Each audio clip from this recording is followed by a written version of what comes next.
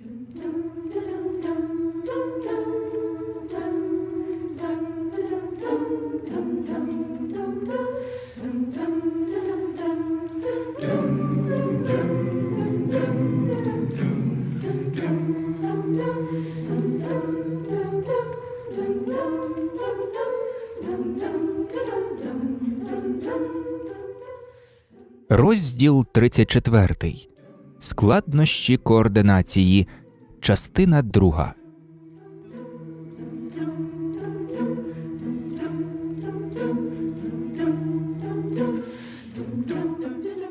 Мінерва й Дамблдор об'єднали були свої таланти, щоб вичаклувати грандіозну сцену, до якої саме плентався квірел. Всередині вона складалася з міцної деревини, однак ззовні блискотіла мармуровими поверхнями, інкрустованими платиною та всипаними коштовними каменями кольорів усіх гуртожитків. Ані вона, ані директор не мали сил засновників Гогвардсу, але й підтримувати чаклунство треба було всього кілька годин. Зазвичай Мінерва раділа рідкісним нагодам вдатися до виснажливої трансфігурації чогось великого. Вона мала б тішитися цим багатьом маленьким можливостям поуправлятися в мистецтві й створенні ілюзії пишноти, та цього разу під час роботи її не покидало лячне відчуття, ніби вона сама собі риє могилу. Втім, наразі Мінерва почувалася трохи краще. Була одна коротка мить, коли здавалося, що от-от трапиться вибух. Однак Дамблдор уже стояв і тепло аплодував, і всім вистачило клепки не бунтувати перед директором. Вибуховий настрій швидко змінився загальним піднесенням. Це відчуття можна було б описати фразою Та ну вас. Блез Забіні застрелився в ім'я сонечка, і фінальний рахунок був 254, 254, 254. За сценою троє дітей чекали на свою чергу піднятися, зиркаючи одне на одне із сумішю люті й розчарування. Вони досі не висохли після того, як їх виводили з озера, та й не схоже було, щоб зігрівальні чари повністю справлялися з морозним грудневим повітрям, і ситуації це аж ніяк не поліпшувало, а може, винен був тільки їхній настрій. Усе заявила Грейнджер. З мене годі, більше ніяких зрадників. Повністю погоджуюся з вами, міс Грейнджер, холодно відгукнувся Драко. Побавилися й вистачить. І що ви двоє збираєтеся з цим робити? різко кинув Гаррі Поттер. Професор Квірел уже сказав, що не стане забороняти шпигунів. Ми заборонимо їх замість нього похмуро промовив Драко, не розуміючи навіть, що він має на увазі під цими словами, але сама відповідь немов складалася в план.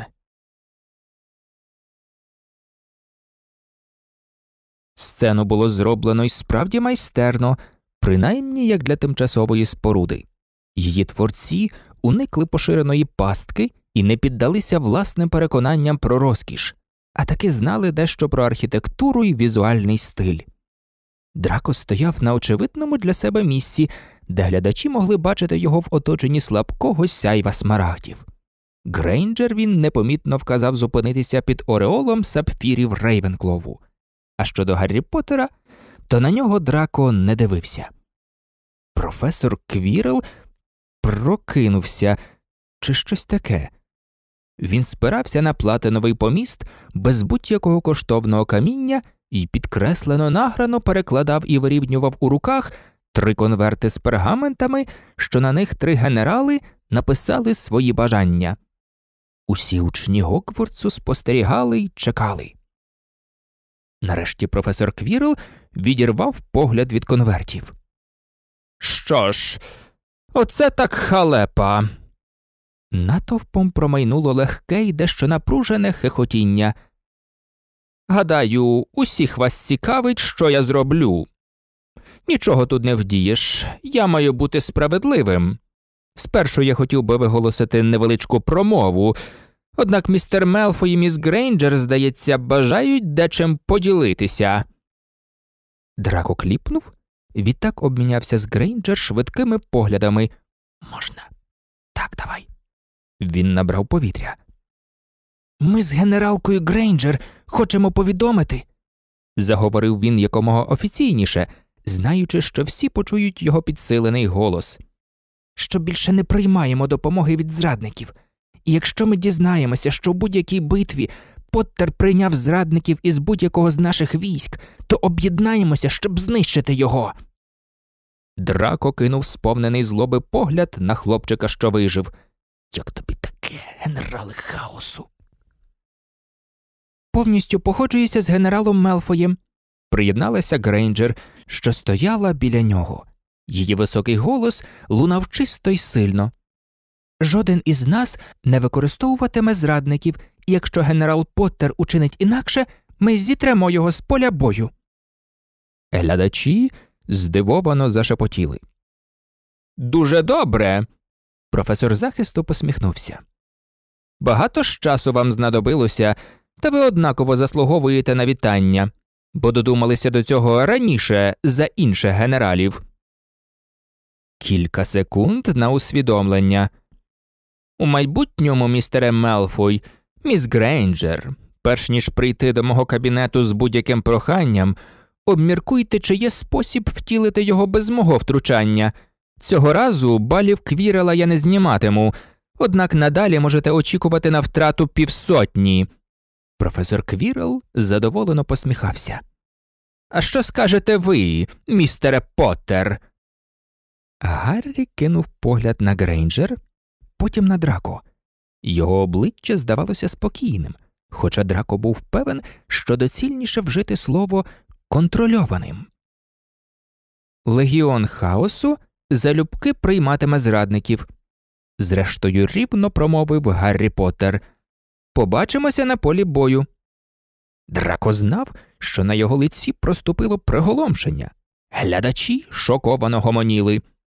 Подивившись на передній ряд, він помітив, що навіть Гарріних хаоситів це заскочило зненацька. Грейнджер розізлилася і ставала дедалі розлюченішою. Містере Поттер!» – звернулася вона різко, наче прикидаючись учителькою. Ви що, намагаєтесь бути нестерпним? У жодному разі, спокійно заперечив Гаррі Поттер. Вам не доведеться робити це постійно. Побийте мене раз, і ви досягнете мети. Але самих погроз не завжди достатньо, генералко сонечка. Ви не запропонували мені приєднатися до вас, а спробували нав'язати свою волю. А іноді ворога треба перемогти, перш ніж нав'язувати йому свою волю. Розумієте? Не йму я щось віри, що Герміона Грейнджер, найяскравіша академічна зірка Гогвардсу, і Драко, син Луціуса, нащадок шляхетного і найдавнішого роду Мелфоїв, зможуть працювати разом, щоб знищити свого спільного ворога Гаррі Поттера. На його обличчі заграла задоволена посмішка. Можливо, я просто вчиню так, як драко намагався із Забіні. Напишу Луціусові Мелфою листа і побачу, що він про це думає. Гаррі. нажахано скрикнула Грейнджер під зойкання публіки. Драко кипів від злости, тримаючи її під контролем. Гаррі втнув таку дурість, заявивши про це публічно. Якби він просто це зробив, то міг би й чогось добитися. Драко навіть не подумав був про батька, але якщо той втрутиться тепер, то складатиметься враження, наче він грає Гаррі на руку. Якщо ти вважаєш, що зможеш так легко маніпулювати моїм батьком лордом Мелфоєм, холодно відповів Драко, то дуже сильно здивуєшся, Гаррі Поттере. Щойно останні слова злинули з його вуст, Драко збагнув, що загнав власного батька у безвихідь, навіть не маючи такого наміру. Йому це навряд чи сподобається ані трохи. Однак виказати цього він більше не зможе.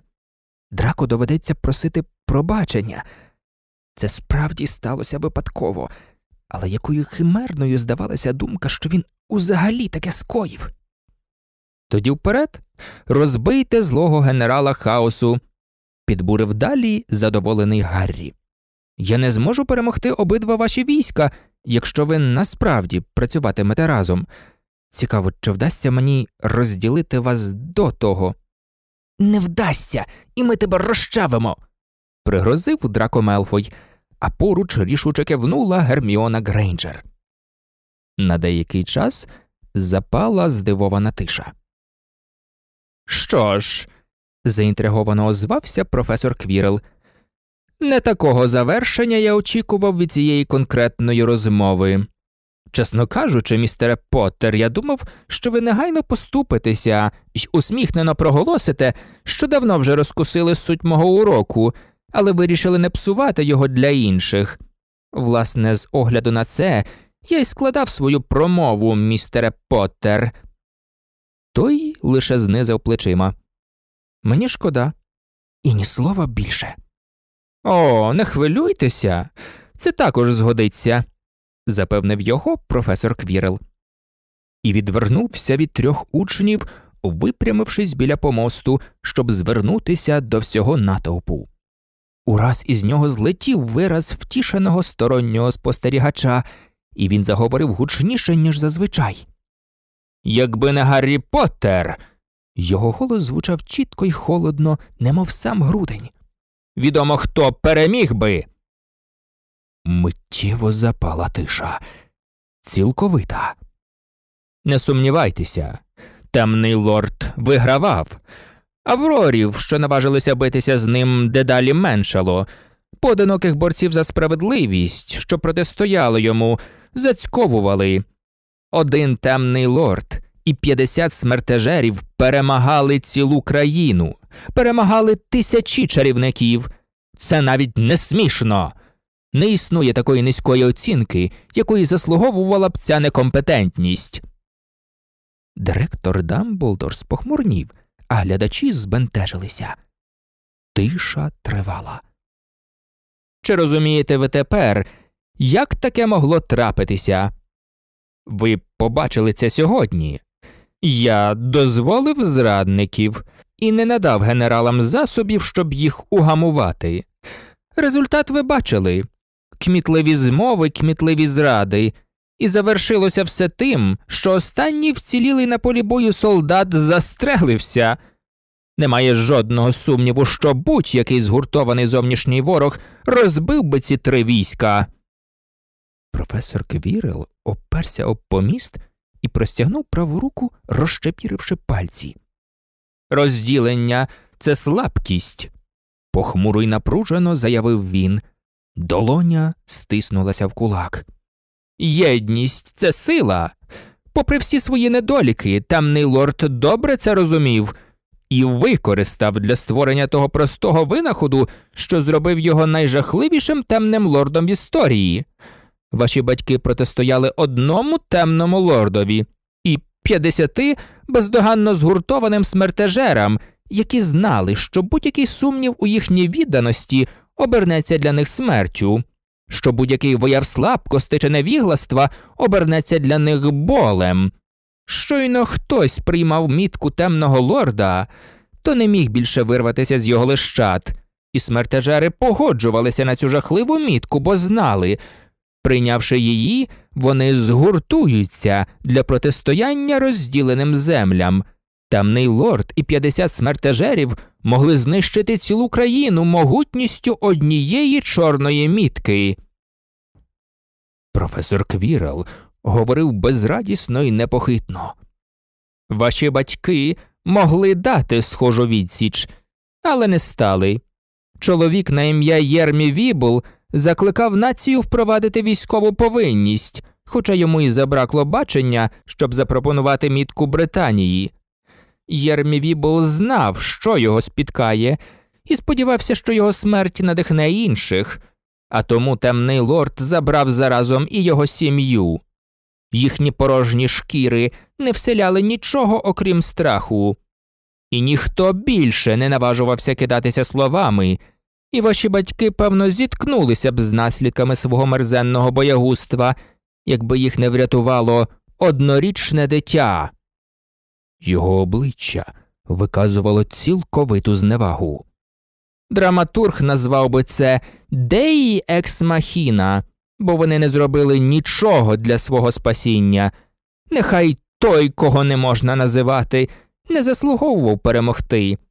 Але не сумнівайтеся, ваші батьки заслуговували програти. У його голосі бриніло залізо. І знайте, вони так нічого й не навчилися. Нація досі розділена й слабка. Скільки десятиріч розділяє Гріндельвальда і відомо кого? Гадаєте, ви не побачите наступної загрози за свого життя? Чи повторите тоді ви дурість своїх батьків, коли наслідки їхніх дій так чітко постали перед вами сьогодні? Бо я знаю, що робитимуть ваші батьки того дня, коли запанує темрява.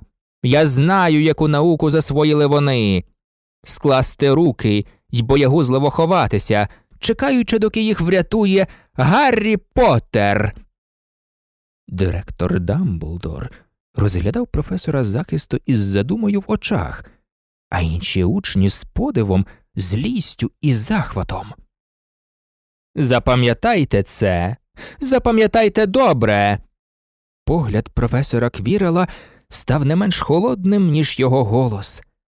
Той, кого не можна називати, жадав керувати цією країною, навічно затиснувши її у своєму жорстокому кулаку. Та принаймні він жадав керувати живою країною, а не купкою попелу.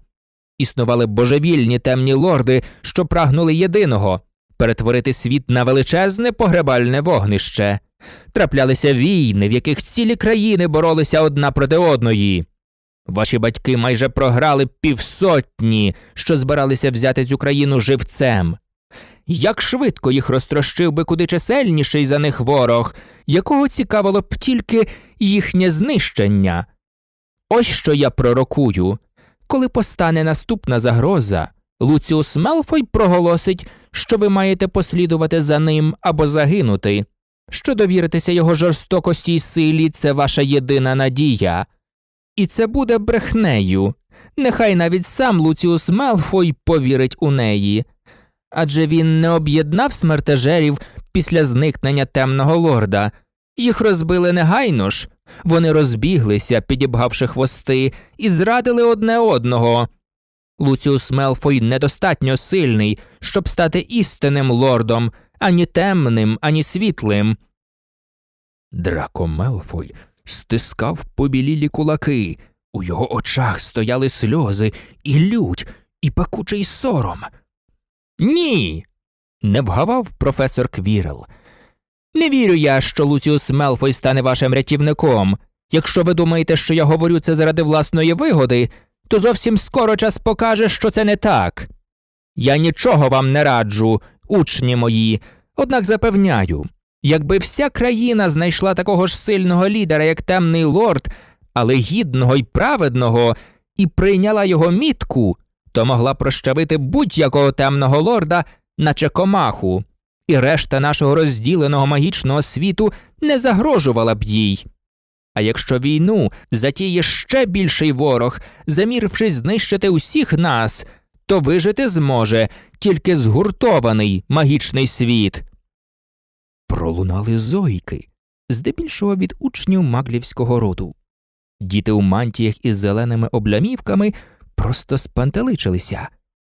Тепер уже Гаррі Поттер стискав кулаки й тремтів, а Герміона Грейнджер стояла поруч з ним, розлючена й збентежена. Директор підвівся зі свого місця із суворим обличчям. Жодного слова ще не злетіло з його вуст, але сигнал був очевидним. Я не розкрию, яка загроза насувається, провадив далі професор Квірл. Та якщо історія хоч чогось вчить нас про світ і його майбутнє, то ви не проживете все своє життя у мирі, і якщо в майбутньому ви вчините так, як ці три війська сьогодні, якщо не зможете відкинути у бік свої дріб'язкові суперечки і прийняти мітку єдиного лідера, то ви ще захочете, щоб темний лорд був живим і правив вами, і проклинатимете день, коли народився Гаррі Поттер, Годі. заволав Албус Дамблдор. Запанувала тиша. Професор Квірел повільно повернув голову і подивився туди, де стояв Албус Дамблдор, охоплений своєю чарівницькою люттю. Вони зустрілися поглядами, і безсловесна напруга придавила учнів, що слухали, не сміючи ворухнутися. Ви також підвели цю країну, сказав професор Квірел, і знаєте про небезпеку не менше за мене. Такі промови не для вух учнів. Албус Дамблдор гримів загрозливо гучно. І не для ротів професорів. Коли темний лорд набирався сил, лунало багато промов, призначених для вух дорослих, сухо відповів професор Квірел. І вони плескали й раділи, відтак втішено верталися додому після такого веселого дня. Але я підкоряюся вам, директоре, і не виголошуватиму більше промов, що їх ви не схвалюєте. Мій урок простий я й надалі нічого не робитиму зі зрадниками. Побачимо, що учні зможуть вдіяти самотужки, не очікуючи на порятунок від професорів. Він повернувся назад до учнів, скрививши рота в посмішці. Чим, здавалося, розвіяв ту жахливу напругу, наче Бог, що своїм подихом розігнав хмари. Але, будь ласка, будьте добрішими до сьогоднішніх зрадників, вони просто хотіли розважитися. Залунав сміх, спершу знервований, відтак сміливіший, поки професор Квірел так і стояв, криво посміхаючись, і напруга частково спала.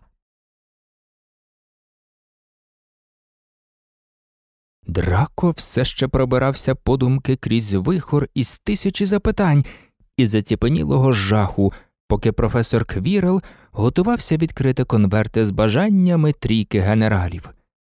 Раніше йому й нагадку не спадало, що магли з їхніми подорожами на місяць є куди більшою загрозою, ніж повільний занепад чаклунства, чи що батько не зможе їх зупинити. І в цьому таївся ще химерніший, одначе очевидний підтекст. Професор Квірел вірив, що Гаррі зможе, нехай він і запевнив, що нічого не радить. Однак знову й знову згадував Гаррі Поттера у своїй промові, інші, мабуть, також уже про це думали. Просто сміховинно. Хлопчик, що обсипав м'яке крісло блискітками і назвав його троном. Хлопчик, що зіткнувся зі снейпом і переміг, зашепотів зрадницький голосок. Цей хлопчик може вирости і стати лордом, якому вистачить сил, щоб правити, щоб порятувати усіх нас. Але Гаррі виховали магли. Він сам практично бруднокровець, він не боротиметься проти своєї названої сім'ї. Він знає їхні мистецтва, їхні таємниці й методи. Він може взяти всю маклівську науку і застосувати її проти них, об'єднавши з нашою власною силою, силою чарівників.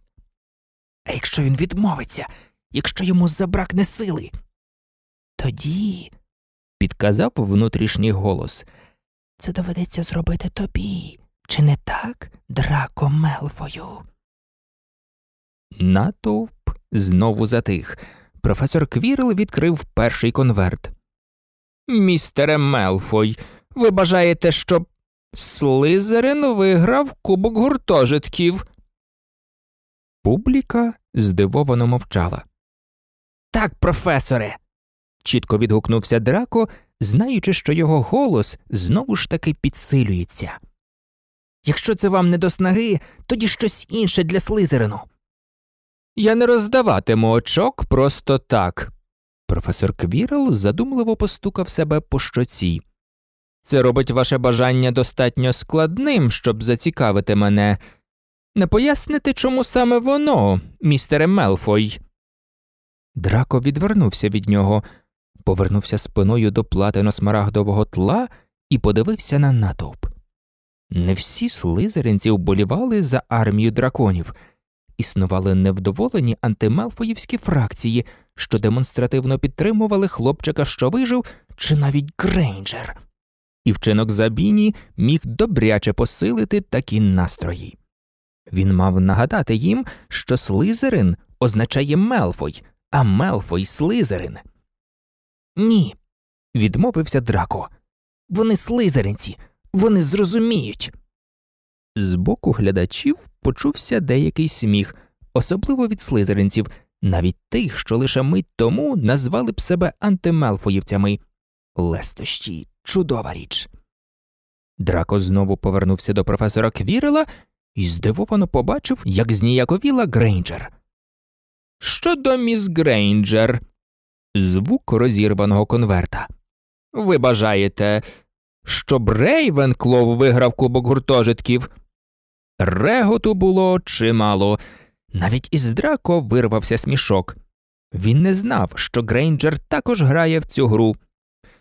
Що ж, затнулася Грейнджер, немов пригадуючи завчену на пам'ять промову. Я мала на увазі, що.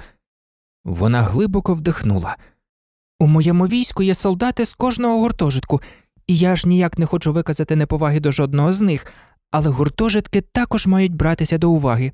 Було дуже сумно дивитися, як учні з однакових гуртожитків кидалися одне в одного прокльонами, тому що належали до різних військ. Людям потрібно мати можливість покластися на будь-кого зі свого гуртожитку. Саме тому чотири їх і створили для Гокворсу Годрек Грифіндор, Салазар Слизерин, Ровіна Рейвенклов і Гельга Гафелпаф. Я генералка сонечка, але насамперед я Герміона Грейнджер із Рейвенклову, і я пишаюся тим, що є частиною цього восьмисотрічного гуртожитку. Чудово сказано, міс Грейнджер. похвалив Дамблдор. Гаррі Поттер стояв насуплений, і драко не міг збагнути, що йому це нагадує. Цікава позиція, міс Грейнджер, зазначив професор Квірел. Та є часи, коли слизеринцям корисно мати друзів у Рейвенклові, а грифіндорцям у Гафелпафі. Звісно, найкраще було б мати змогу покластися на друзів і зі свого гуртожитку, і зі свого війська. Грейнджер швидко огледіла інших учнів і вчителів, але нічого не відповіла. Професор Квірел кивнув, немов сам до себе, відтак розкрив останній конверт.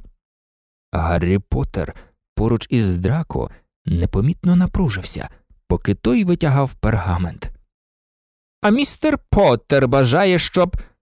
Професор захисту замовк, вдивляючись у пергамент. Аркуш спалахнув і швидко згорів у яскравому полум'ї, лишивши по собі тільки чорний попіл, що плавно посипався з пальців професора Квірела. Його обличчя ані трохи не змінилося. Обмежтеся, будь ласка, здійсненними бажаннями, містере Поттер!» – сухо попрохав він. Павза затягнулася, Гаррі, що стояв біля драко, видавався трохи приголомшеним. Що заради Мерліна він там захотів? Сподіваюся, ви підготували інше бажання на випадок, якщо я не зможу виконати цього. Ще одна павза. Гаррі глибоко вдихнув. Ні. Але заміну я вже придумав. Він повернувся до глядачів. З кожним словом його голос лунав дедалі впевненіше. Люди бояться зрадників через їхню безпосередню шкоду, підстрелених солдатів і розкритих секретів. Але це лише частина небезпеки. Страх перед зрадниками штовхає людей на вчинки, що також мають свою ціну. Цим я і скористався сьогодні проти сонечка і драконів. Я велів своїм зрадникам не завдавати якнайбільше безпосередньої шкоди, а поводитися так, щоб посіяти якнайбільше недовіри й плутанини. Це змусило генералів вдаватися до найскладніших заходів, щоб спробувати взяти ситуацію під контроль.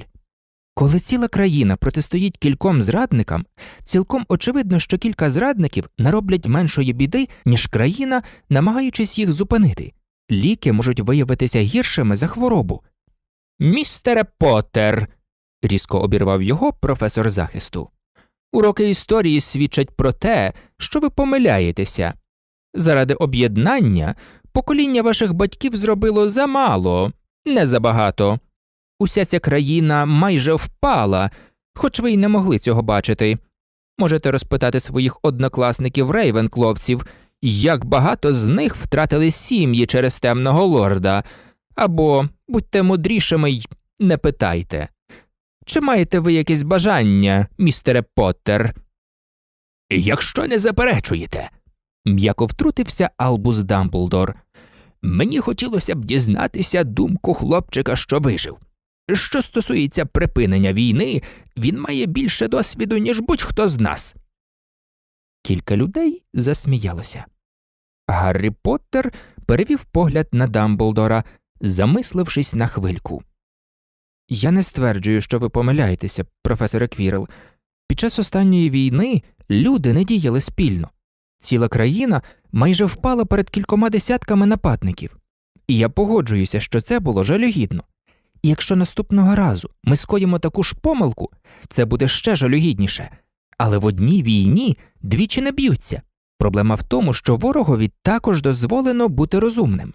Розділення має свої недоліки, та намагання об'єднатися наражають людей на геть інші ризики, навіть іншу ціну, і ворог спробує цим скористатися. Не варто припиняти думати, досягнувши лише одного рівня гри. Простота також має свої переваги, містере Поттер, сухо кивнув професор Квірел. Сподіваюся, сьогодні ви затямили дещо про небезпеку стратегій, складніших за об'єднання сил і напад на ворога. І якщо все це якось не підводить до вашого бажання, то я дуже роздратуюся. Так, було доволі важко вигадати бажання, що символізувало б ціну єдності. Але проблема спільних дій стосується не лише війни ми стикаємося з нею все своє життя щодня. Якщо всі координуються згідно з однаковими, але дурними правилами, то одна людина, що вирішить вчинити якось інакше, порушить ці правила. Однак, якщо вчинити інакше вирішать усі, то ніщо їх не зупинить. Саме так виникає проблема, коли всім потрібно діяти разом. Адже перший, хто виступить із пропозицією, муситиме піти проти цілого натовпу. І якщо ви гадаєте, що люди завжди мають гуртуватися і важить тільки це, то вам ніколи не вдасться змінити правила гри, хай які вони дурні. І тому моє бажання символізуватиме те, що трапляється, коли люди об'єднуються в неправильному напрямку. Я хочу, щоб у Квідич в Гоквардсі грали без снича. Що? Стоголосо заволав натовп, а в драко відвисла щелепа. Снич руйнує всю гру. У підсумку дії інших гравців не мають жодного значення. Набагато доцільніше буде просто купити годинника. Це одна з тих неймовірно тупих речей, які ви не помічаєте тільки тому, що виросли з ними. Одна з тих речей, які люди роблять тільки тому, що так роблять усі інші. Здійнявся бунт, заглушивши Гаррі Поттера. Бунт протривав усього 15 секунд, перш ніж гігантський спалах полум'я, що зірвався з найвищої вежі Гогвардсу під рокотання сотні громів, не поклав йому край. Драко й не здогадувався, що Дамблдор здатен на таке. Учні обережно й тихо розсілися по місцях. Професор Квірел нестримно реготав. Нехай буде й так, містере Поттер. Вашу волю буде виконано. Він театрально замовк. Звісно, я обіцяв тільки один хитрий план, і це все, що ви троє отримаєте. Драко щось таке й очікував був почути, та ці слова однаково його вразили. Він швидко перезирнувся з Грейнджер. Вони були очевидними союзниками, але бажання мали цілковито протилежні. Маєте на увазі, що нам треба вибрати спільне бажання, уточнив Гаррі. О, це було б занадто. Ви ж троє не маєте жодного спільного ворога, чи не так? Професор Квірел на якусь коротку мить, таку стрімку, що драко засумнівався, чи йому не здалося це, глипнув у бік Дамблдора. Ні, я мав на увазі, що виконаю три бажання за допомогою одного плану. Запала розгублена тиша. Це неможливо, рішуче заявив Гаррі поруч із Драко. Навіть я такого не можу. Двоє із цих бажань взаємно несумісні. Це логічно неможливо. Він затнувся. Ви ще замолоді, щоб вказувати мені, чого я не можу зробити, містере Поттер». Професор Квірел коротко й сухо посміхнувся. Він обернувся до глядачів. Чесно кажучи, я не певен, чи здатні ви засвоїти сьогоднішню науку. Рушайте додому, проведіть приємно час зі своїми сім'ями чи з тим, що від них залишилося, доки вони ще живі. Моя родина давно вже загинула від руки темного лорда. Побачимося на заняттях. Запала безмовна тиша. Коли професор Квірел відвернувся, щоб зійти зі сцени, Драко почув його тихий і нічим не підсилений голос. А з вами, містере Поттер, я хотів би ще зараз поговорити.